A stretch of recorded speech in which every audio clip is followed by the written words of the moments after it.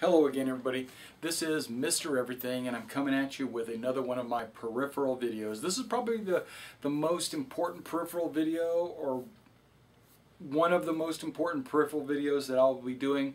Uh, what we're going to be talking about today is our control stick, our joystick or our control system, either HOTAS or control stick. Alright, so let's start talking about a little bit of a low end uh, control stick. You've got the Logitech Extreme Pro right here. Uh, this Extreme Pro uh, that I've been using for, I don't know, 100 years? No, I've been using this thing for probably, to be honest, probably about 10, 15 years. I've been using this thing a pretty long time. Uh, and you can see that it's a pretty nice looking joystick. Uh, it's got a lot of weight to it. Uh, this is a metal bottom right here. This is metal, okay? Um, it does have rubber booties on there so it doesn't slide around on your desk. Uh, it does have a number of different buttons. You've got your trigger, you've got your thumb button, you've got four buttons up here, you even have a hat switch. Um, and then of course you've got your six buttons down here. And what's kind of cool is it's got a built-in throttle right there where you can use this to throttle up and down uh, a lot of your flight sims. I've been using this joystick uh, to play all my flight sims, basically anything that I needed a joystick for. This is the stick that I was going with. It's only about 25 to $30. Okay, this is an awesome joystick. It's worth the investment.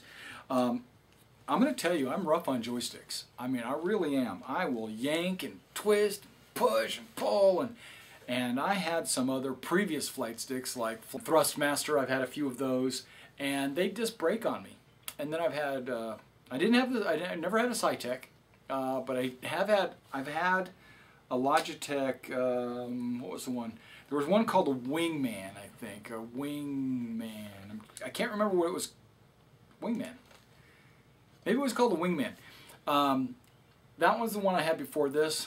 I broke it. And then I got this one, and this was a long time ago, 15 years probably. And and I've yanked and pulled and tried to break this thing, and I have not been able to break this thing. Uh, I'm not saying it can't be broken. I'm not saying that some of you haven't already broken yours. But I'm saying that I have not broken this, and it has done me very well for the amount of abuse that I've put this thing through. For the price, you know, $25, you can't beat it. Now I was looking for something a little bit more high fidelity, a little bit more uh, high end, something with a little bit more buttons on the handles. Because what I found uh, when I game, I've got a lot of preset buttons and they all can't go on that joystick, okay? And I would have to reach over and touch something on the keyboard and I because it's not directly in my hands, I'd have to look over at the keyboard and I'd have to type. And what it was doing, it was slowing me down. You know, I'd have to go my landing gear or I'd have to go raise flaps or something like that. I know I can program some of the buttons that are on the flight stick, but I had more buttons that I needed than was on the flight stick. So I went ahead and got the X55 Rhino hands-on throttle and stick system and uh, that's the one I will be using with Star Citizen. That's the that's the system you see right here with uh, the joystick right here on a solid base right there. Um, and I will be doing a review on this. Uh, that's really what this video is about. It's about this joystick and this throttle. So my throttle, my hands are on my throttle and my stick. So that's a HOTAS. Okay, and there's enough buttons all the way up and down this thing. I've got four toggle switches right here which have an up and a down. I've got some knobs. I've got more toggles here. I've got three modes that I can switch into and by switching modes I can have these buttons do something completely different. I have uh, spinners here and here. I have a slider here, a couple of hats here, a button, a mouse, two finger buttons here, another uh, pinky button there, another slider here. I have um, a, a, I can detach the two sides of my throttle so I can actually have a split throttle if that's something I wanted to do. Uh, that just makes this throttle extremely awesome. Now the joystick, it's nothing so, nothing special, you know, to be honest. I probably could have plugged in my uh, Extreme Pro, you know, and just kept that. It's no big deal. This is the main main thing that I got super excited about. But because they work together, and this does have a bunch of buttons. It's got a pinky button and a pinky trigger. It has a thumb button and a four-finger trigger. And then it's got three distinctly shaped differently hats on the top, uh, which uh, are great. And then it also has a button there. And I think it does even have a button on the right side. It is also a twist uh, joystick, which is awesome. And uh, you can adjust the spring tension. You actually, it comes with four total springs that you can adjust and put the most or least or middle, whatever spring you want to put on there. Okay, so now let me go ahead and I'm going to zoom in. I'm going to set this off to the side just for a moment while I bring up the uh, Rhino software and so we can actually see that. And then after the Rhino software, when I, after I get done showing you a little bit of that, what we're going to do is we're going to uh, put the camera back here and you're going to get to see me fly a little bit using the Rhino. Uh, this is the system that I will be using with Star Citizen, which apparently comes out hopefully Monday. Uh, Monday that's when they're going to have the, a meeting to see if all the QA that was done over this weekend was successful. All right, so let's take a look at the software. All right, now this is the software that you see right here in front of me. Uh, this is from Saitek, the uh, X5, X55, uh, they call it the Mach system which is like the military assault combat something i don't know and there's a little picture of a rhino right there okay so now when you go to programming right you can program either one of the joysticks you can program the joystick itself or you can program the uh, the uh, throttle so let's click on the throttle this is just an example so you can kind of see how easy it is to control this we click on the throttle and it comes up with uh, a diagram of your throttle. And if you want to program something, let, let's say I want to program this button right there. All you got to do is highlight it, see? Select it, and it tells you which button that is. That's the E button. Okay? This is the E button. That's the F button. That's the G. These are these are oh there are there are pushes. Okay, hold on. And then you got the scrolls and then the rotaries. Ah, so there are push buttons up there. Okay, cool. See, I just learned something just by showing you this video. Okay, uh, that's pretty cool. But now let's say I want to change this button on top, the F button, to be my brakes. So what I do is I just go to uh, setting up the macro, right? Because you can go uh, insert mouse scroll or hotkey, quantize time, all that stuff. I don't need to do any of that. I just want to make it B for brake. And then I go here to check it. That saves it. There. And let's make that a title. Let's call it a brake Okay, and because, um, yeah, B is my brake So in the game, I will make sure that B the, the, the button B actually functions as the brake Now I don't have this saved. This is a loaded profile, untitled. Let's go ahead and save this as War Thunder. Yeah, I do want to replace it. Okay. And let's use, um, that's flaps, and that's a pretty good one for flaps. Uh, this could be, let's make this gear right? That's down. I need toggle 4 up. There we go. Up. That's going to be gear up, right? G. You know what? Toggle. Oh, I didn't even save it. Okay, let's go to save that. Let's call it gear. And then same thing with the down. I'm just going to make it G also. So no matter which way I toggle that toggle, it's either gear up or down, right? Gear down. Okay, so I've got gear and gear down. Okay, so there's my gears, and then there's my uh, brakes. Okay, if I were to ever uh, land, I would just hit that button on the top of this, and then it would be my brake. So let's go ahead and save that. Save because I have it already uh, loaded right here. All right, so that's pretty that's pretty much how easy it is. It's super simple. Now, if see notice the mode up here because remember you have three different modes. If I go with mode 2, I can change all these same things. These buttons can all have additional uh, controls. Same thing with mode 3, same thing. Go back to mode 1, we already know that's a B. I'm not, not going to go B, B, B, B, B because that'll show uh, that it, um, what am I trying to say? It'll go break my, it'll go break off and on and off and on. I don't want that to happen. And so uh, let's see, we got the G's here for toggle 4. That's pretty awesome. Okay, so let's just get out of this and let's go ahead and load up War Thunder and uh, I'm going to have the camera sitting behind me so you can actually see what's going on. All right, I've got um, War Thunder up. I've got my throttle, and I've got my joystick.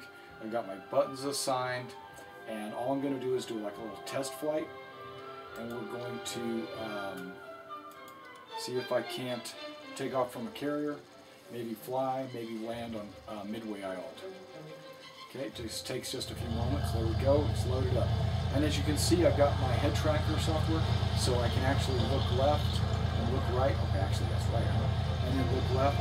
And if I'm inside the cockpit, I can actually, you know, see my wings. I can turn around and see who's following me. Luckily nobody. Um, so let's just go ahead and take this thing off. And I don't know if you can see the throttle, but here I go. I'm going to start throttling up. I'm going to throttle up all the way. There it is. I'm more power. Starting to pick up. Uh, Ease off on the throttle, but what I want to do is raise the gear. Here it comes. Notice my hands aren't having to leave the joystick at all. Push nose down because getting too slow. It's alright. One saying I should probably pull some speed. So my speed's going up.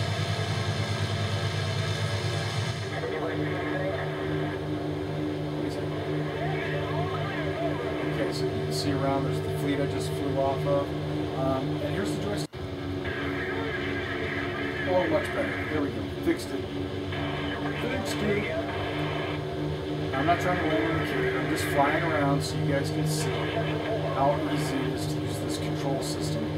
Um, now, it's going to be super exciting to use this with um, Star Citizen, especially with this layout with the three monitors. Okay, so let's go ahead and go to Wake Island. Let's land. Kind of show you. Is that air brakes? Yeah. No air brakes. This plane doesn't have air brakes.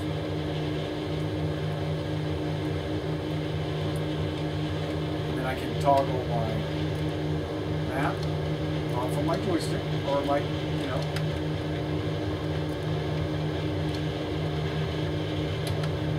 there are no boosters. So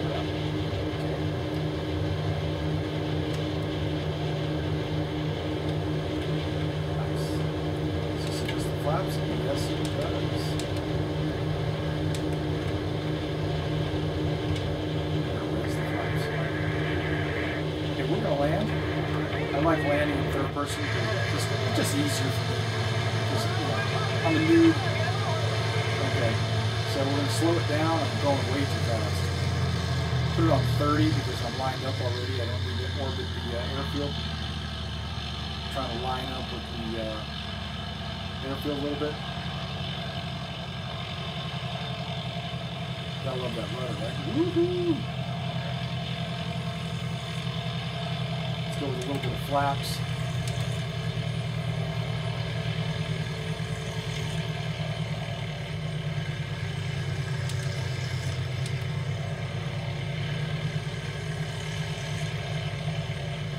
Let's go with the gear. Gear down.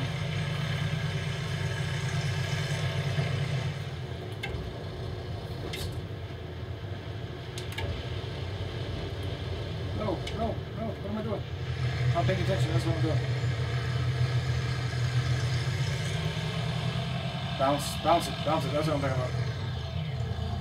about. okay, let's see if the brakes work. Oh, look at that, the brakes work.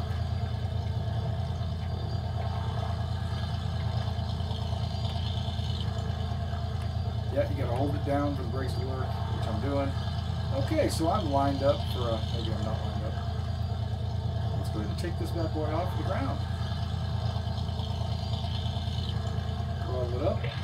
More power. lined up. It's already lined up. I'm be able to take off before get to that building over there. And there we have it.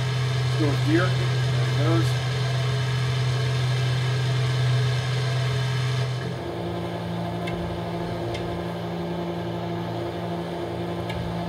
And the flaps are raised.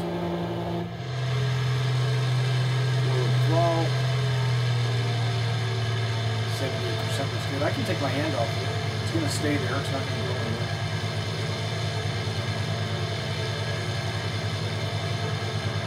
I like my 78%. Let's go shoot some stuff. I know I'm it's friendlies, but so what, right? Just because it's cool.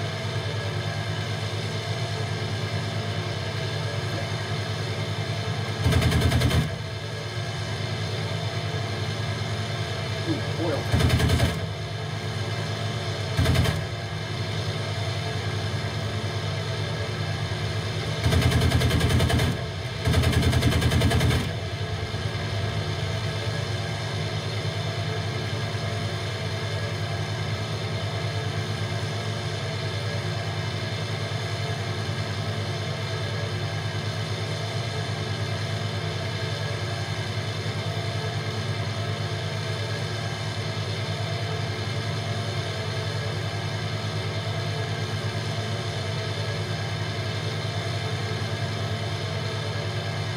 flying around, just taking a look.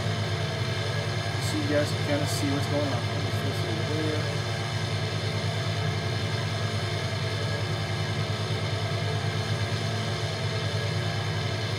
is trying to me something.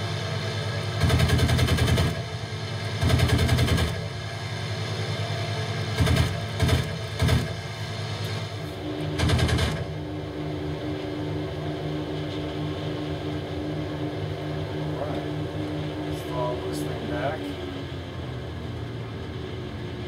And then, and we can, look at that. Yeah, and then we can.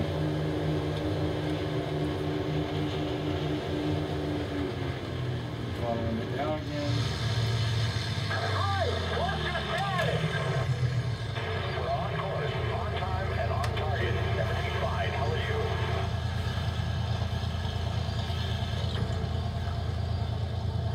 It's gonna be a rough landing.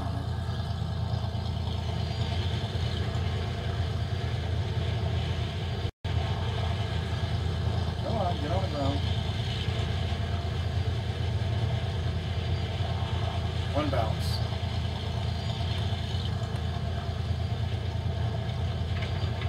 Two bounces. I'm surprised I actually successfully landed.